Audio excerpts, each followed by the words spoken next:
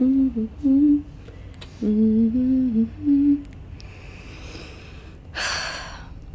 was so happy last night. Alive like I used to be. I woke Dado to dance with me. Ugh, he had been drinking and he had passed out, but this did not stop me. I felt uh, lightheaded and, and full of a kind of perfect faith, full of, of God. Ah, Dado, I said last night. I said, Dado, get up, get up and dance with me under the stars. Rise up, remember.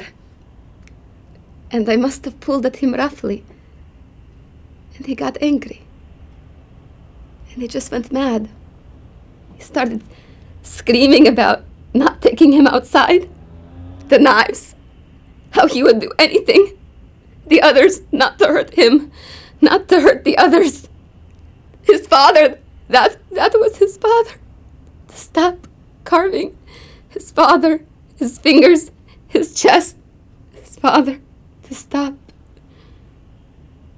And then he started begging, crying like a little boy. And then he found himself all little on the ground, broken, hating that I loved him. He beat me. But I felt nothing. Dado's fists could not touch me. I was with the old Dado.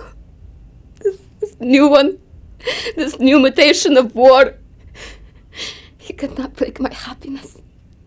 He could not break my great dance under the stars. Солнечный круг, небо вокруг, это рисует